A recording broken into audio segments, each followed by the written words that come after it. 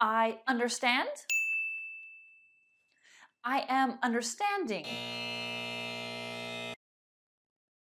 I have a new phone. I am having a new phone.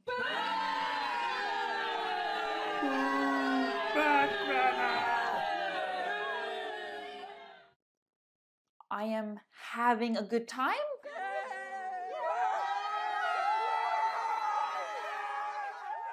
Why is I am understanding not correct? Why is I'm having a new phone not correct? But I'm having a good time correct. Today we're going to look at some really important verbs called stative verbs. Stative verbs are the opposite of action verbs, also called dynamic verbs. Let's look at them together. Before we look at stative verbs, let's take a moment to really clarify action, dynamic verbs. Drive, run, take, take a picture, play, play an instrument, teach, as in teach a lesson. These are action verbs, dynamic verbs. They're very physical. You use your body. Usually, you can see the action happening. Stative verbs are more emotional, like, love, dislike, hate, prefer, want. These describe feelings, emotions. Stative verbs also describe things to do with our mind and our opinions. Understand, remember, believe, know, seem, agree, disagree.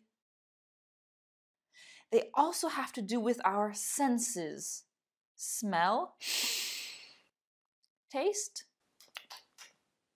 feel, hear, sound, see, and states. States are things that never change or will not change soon. State of verbs, very common ones, are be and have. For example, I am American. This won't change. I have an older sister. This won't change. Okay, so now we're getting a good idea of what stative verbs are. Don't worry, in the description below, I have a link which will take you to my list of very common stative verbs. So, why is it important for me to know about stative verbs? Because stative verbs are not normally used in a continuous way. I am understanding this lesson. This bag is belonging to me. I've been believing in ghosts since I was a child. We can see the stative verbs understand, belong, believe. And these sentences aren't correct. We don't use stative verbs in a continuous way.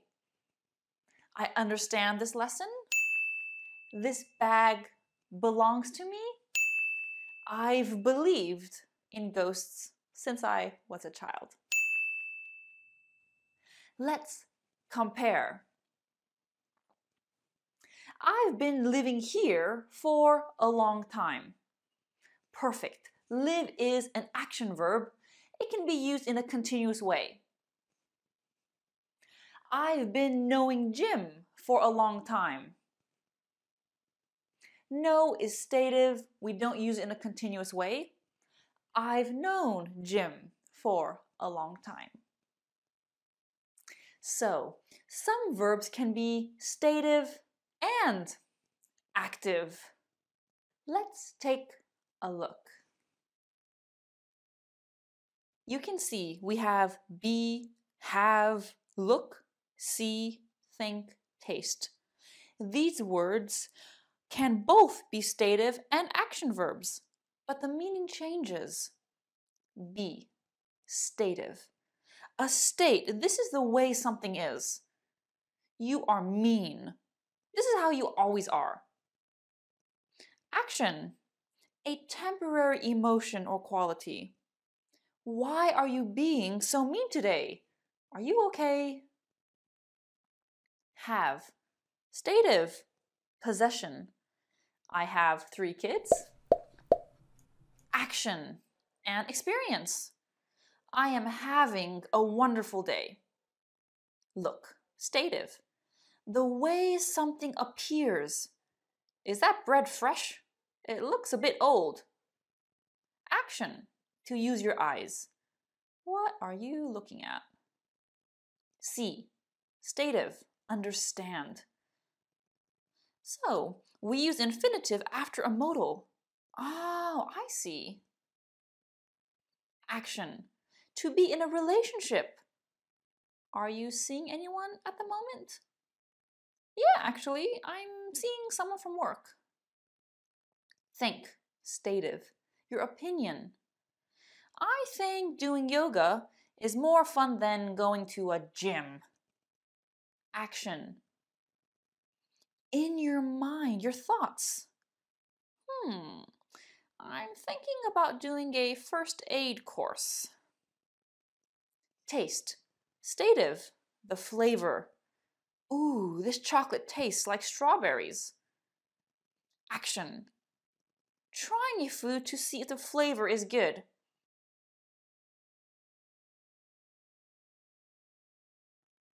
Remember, the ing form isn't only a continuous tense, it can also be a gerund. I'm not good at remembering new vocabulary. Disagreeing with your colleagues can create a lot of stress. I never buy anything without knowing the price.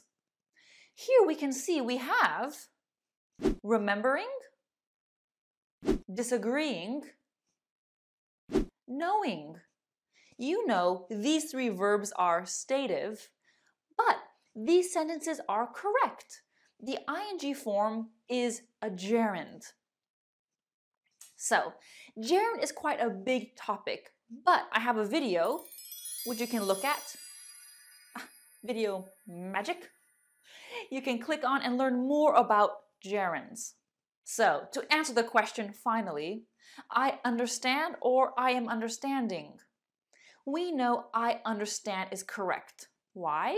Because understand is stative. Exactly.